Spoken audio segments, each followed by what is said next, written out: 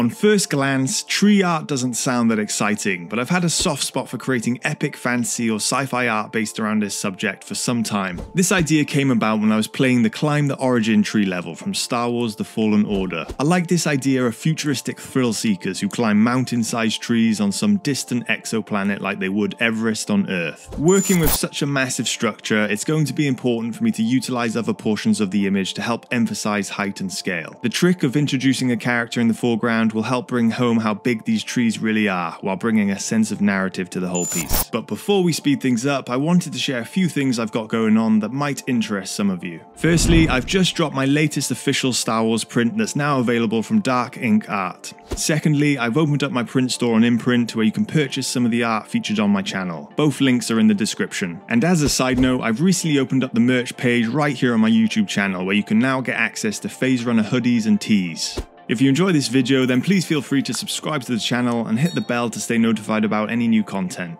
Cool, let's run it.